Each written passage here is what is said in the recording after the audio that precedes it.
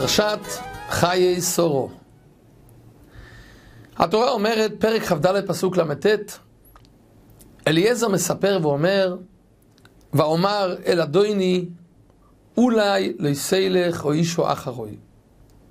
אולי האישה לא תסכים לבוא לגור עם יצחק. אומר רש"י, אליי כתיב. חז"ל אומרים, מה זה אליי? כתוב אולי בחסר ו', אליי כתיב, הוא התכוון לעצמו. בת הייתה לו לאליעזר, והוא רצה שיצחק יהיה החתן שלו. וזה, אברהם אבינו אמר לו, אין ארור מדבק בברוך. אתה מכנען, זה לא מתאים למשפחה שלי. מה שצריך להבין, בגלל חסר של אות, אנחנו חושדים באליעזר שהיה לו נגיעה והוא התכוון רק לעצמו? יש יסוד מהגאון מווילנה, שהגאון אומר, מה ההבדל בין אולי לפן? אולי ופן לכאורה זו אותה משמעות, אולי, מה ההבדל ביניהם?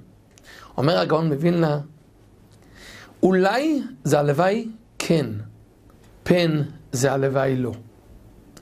אדם אומר לחבר שלו, אולי תלווה לי אלף דולר? זה אולי, אבל זה הלוואי שכן. פן יפתה לבבכם. אומר הקדוש ברוך הוא, אולי תעזבו אותי, אבל אולי, אבל הלוואי שלא. לפי היסוד הזה, מאוד מובן, אליעזר היה צריך לומר, פן לא תובע אישה ללכת אחריי. זה אולי, אבל הלוואי שלא, שהיא לא תסכים, רק שהיא כן תסכים. למה הוא אמר אולי? אולי המשמעות, הלוואי שכן. מה הוא אמר? אולי, הלוואי שכן, שהיא לא תסכים לבוא. למה הוא רצה שהיא לא תסכים לבוא? כי היה לו כוונה. מה היה הכוונה שלו?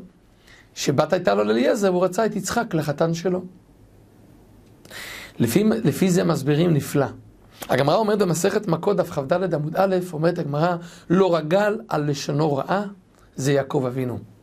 שנאמר, אולי ימושני אבי. אומר רש"י, הוא לא רצה לשקר, ולכאורה שואלים הרבה, מה זה הוא לא רצה לשקר?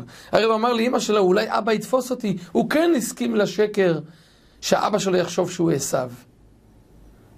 מה אומרת הגמרא לא רגל ללשונו רעה, שזה הולך על יעקב אבינו?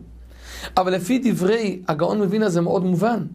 הוא היה צריך לומר, פן ימושני אבי. כי מה זה פן? הלוואי שלא שאבא לא יתפוס אותי. אבא ימוש אותי, אבא ייגע בי ויתפוס אני יעקב. למה הוא אמר אולי? הרי אולי הכוונה, הלוואי שכן אבא יתפוס אותי. כי באמת תיתן אמת ליעקב, יעקב היה איש אמת. יעקב רצה שאבא שלו יתפוס אותו. פה אנחנו רואים כמה כל נקודה, כל אות, כל מילה בתורה, כמה הכל מדוקדק. כמה גדול כוח התורה הקדושה, תורת השם תמימו משיבס נופש. תודה רבה ושבת שלום.